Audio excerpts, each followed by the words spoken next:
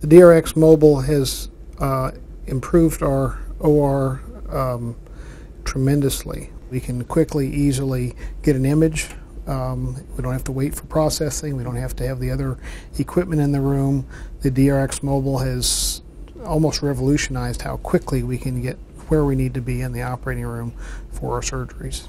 We used to wait maybe 10 or 15 minutes for the whole x-ray process um, before when we wanted to get a localization image to see where we were in the spine. Now um, they take the picture, I wait 30 seconds or so, and there we know where we are.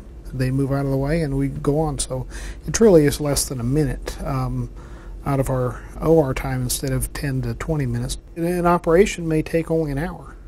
And if you add another 20 minutes, you're adding, you know, uh, 30% of your OR time to an operation. So um, that is a tremendous um, savings when you're talking about many short cases in a day. If it was just one case in a day, you say, well, 20 minutes, what's the big deal? But if you're doing three or four or five cases a day, every one of those 20 minute segments adds up, and before long, you don't get home for dinner. so it's real nice that the DRX allows me to eat dinner at home with my family now.